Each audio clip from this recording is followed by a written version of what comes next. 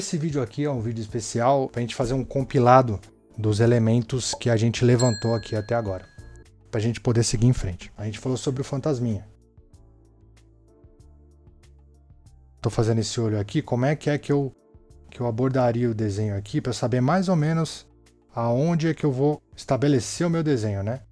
A segunda coisa que a gente discutiu é a relação da firmeza do traço. Quando a gente está começando a desenhar, o traço ele não pode ser tão forte, né? E aí, na medida que você vai deixando o desenho mais fechado, aí você vai deixando o traço mais certeiro. Outra coisa que a gente discutiu, proporções. O desenho nada mais é do que a relação entre linha, a distância dessa linha com a outra e os ângulos que as linhas vão formar uns com os outros. O que, que foi que a gente viu?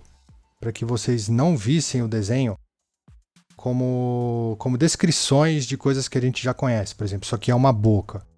Não, isso aqui é uma relação entre linhas. Porque no momento em que a gente começa a definir isso aqui com uma boca, a gente já traz toda uma série de, de, de preconcepções que a gente tem em relação ao que é uma boca, o que não é, que isso aí começa a influenciar diretamente no seu desenho. E isso não é bom.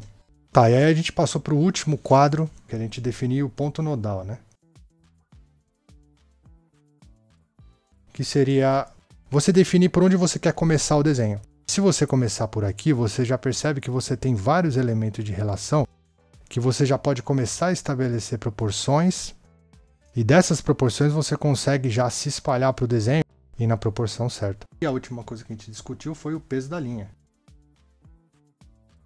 Que essa linha aqui, ela é mais fina e do que essa, por exemplo, para você chamar a atenção do espectador para cá do que para cá ou do que para cá, né? São oito elementos que a gente conseguiu definir até agora. Que essa é a fase do, do Charles Bagg que ele discute mais a linha. Gostaria de sugerir que vocês é, entrassem na playlist dos exercícios de coordenação motora. É, são exercícios para a gente começar também a, a, a, acostumar a fazer traços de outros ângulos, de angulações que a gente não está tão acostumado. Eu peço que vocês se inscrevam também no canal e vocês curtam o vídeo, se puderem comentar, porque eu acredito que o desenho transforma e esse canal aqui é para que todos desenhem. E vamos para o próximo, né? Porque o livro é longo e tem muita coisa pela frente. Um grande abraço para vocês.